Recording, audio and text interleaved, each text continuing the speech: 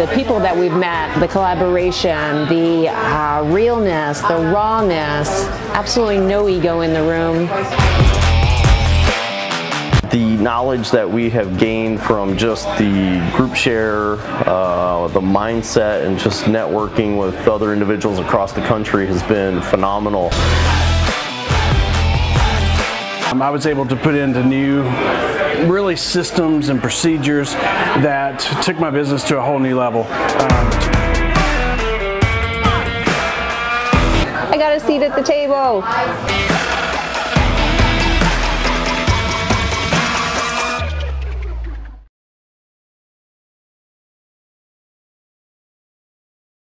Cast that I would recommend y'all listening to like over and over. Um, it's the one I did with my coach, um, Dr. Matt Townsend, and then um, then I then I had Jamie Miller on the next week, and then I had Wally on the week after that. You talk about getting real. Wally Wally laid it all out on the line. But Jamie, um, his accent is, is intriguing. Like he'll suck you in just the way he the way he talks.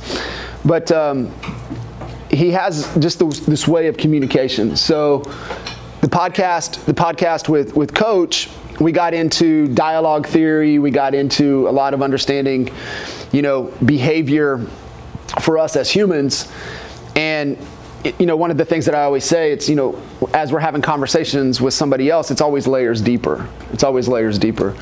And what coach always talks about is that it's smoke and fire. And that a lot of the things that that will get us is the smoke right? When people are upset, they're coming at us, they're saying something, that's the smoke. And I had a, I had a conversation with, with someone and she was having kind of a challenge with her, with her kid. And she kind of reacted and she's like, hey, it's this, this environment, his kids he's hanging out with. And she kind of reacted. And I said, well, you just got choked up on the smoke. And she's like, what do you mean? I was like, you didn't get down to the fire you stayed in the smoke. You didn't get down to the real issue. And she kind of thought about it, you know, for a couple days, and she ended up having a conversation, and it was true. He was upset about something completely different than what she thought it was, and it had nothing to do with his with his friends.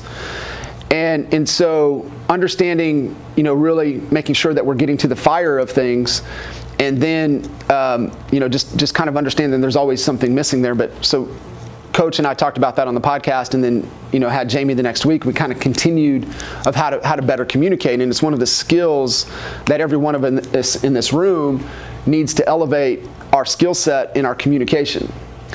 And one of the things that Jamie talks about is the golden rule of communication and he actually he actually called his daughter on the podcast he said let me call ruby and, and we'll ask ruby this question and she didn't answer anyway. She'd come back, but he ended up getting her on the phone. And of course, you know, how, you know, good morning, what, how you doing? And, and um, he said, let me ask you, I'm gonna ask you one question. What is the golden rule of communication? And she didn't hesitate. She goes, always ask permission. Always ask permission. And it's been an absolute game changer. And so think about that. In every one of our conversations, you have to start it with by getting permission. What happens? The gate of the mind is shut. When you ask the question, the gate of the mind opens. Now they're more receptive. And, and so as we're kind of working through kind of understanding in the conversations and the things we're going to have over the next couple days, this is another concept for you is that discovery time versus decision time. And as you're growing your organizations and you have your leadership team around you, when you're small, you can get away with just being open and conversating and, you know, are we making a decision or are we not? But as you guys continue to grow and you add a few people into the conversation, some people are going to take what you say as fact and they're going to run with it. Like that's a decision. Like, no, no, no, no, no, we're just still brainstorming. We're still talking here. And, and so not only getting permission in our conversations, but also being intentional in what type of conversation we're having. And so what my challenge for you guys, especially today, is to is to be really in discovery mode. Kind of discovery, bigger picture, where are we at, where do we want to go, being honest with where we're at. Tomorrow we'll move to making decisions. We'll move to like, hey, we need to make some decisions on what we're going to commit to over the next 90 days. All right. And then um, from from Peter Senge's book, The Fifth, Fifth Discipline, he kind of piggy, piggybacks on this a little bit more, and he's like dialogue and discussion. And so dialogue is suspending our assumptions and our opinions and allowing our blind spots to be revealed, right? What we reveal, we can heal. We all have blind spots.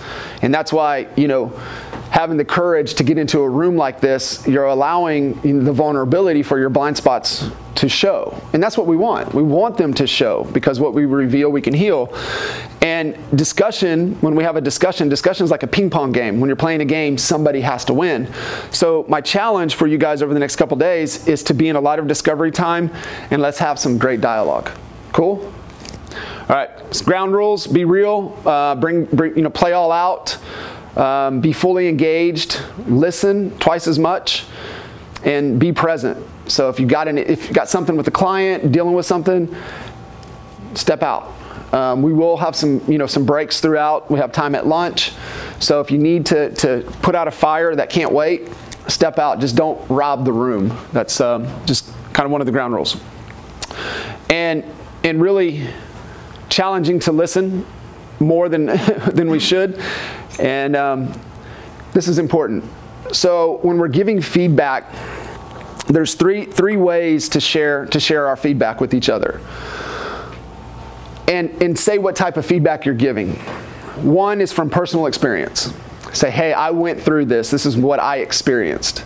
The other way to share is, hey, I saw somebody that they went through this. And then the third is, hey, this is a great idea I have.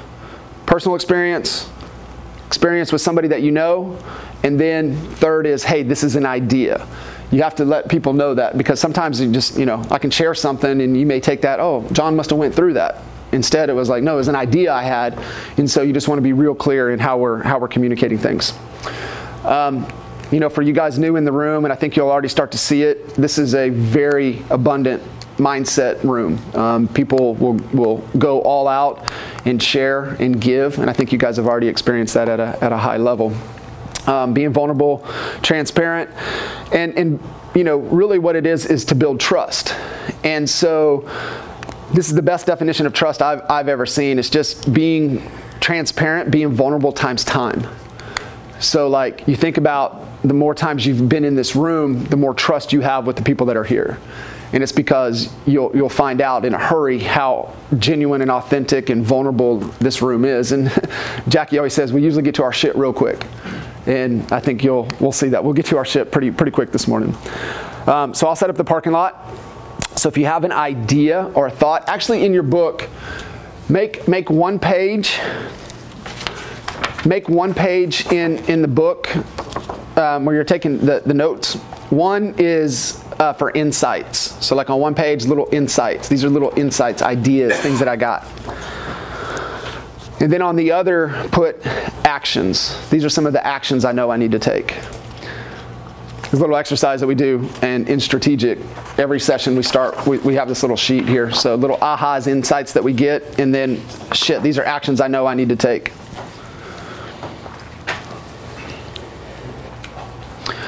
Um, yeah, make a little note there too if you got a parking lot item until we can get a board put up.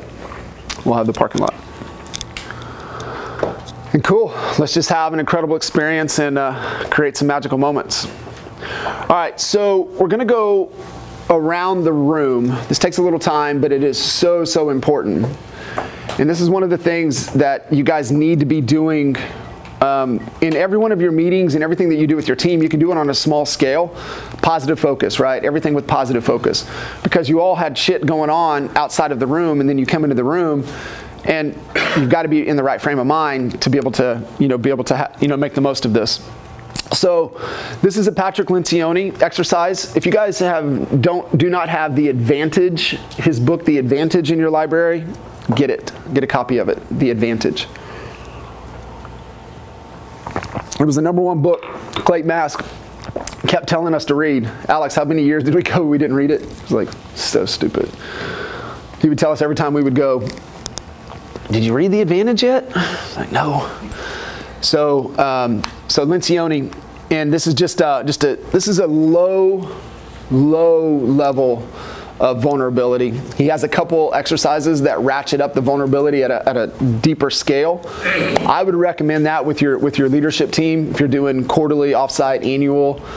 I would recommend going through the deep vulnerability with your team. Like, you're gonna get real. Like, there's gonna be some tears shed if you go through that exercise correctly. We're not gonna do that this time, all right? So, so no tears here. So, what we're gonna do is we're gonna go around the room, name and market, one word open. Uh, favorite place you have been? What is the one thing I wish you knew?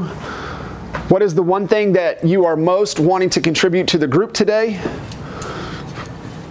And what is the one thing you are looking to solve? I will definitely take notes on that because I want to make sure when you leave here that is solved. So I'm going to let Cheryl kick us off.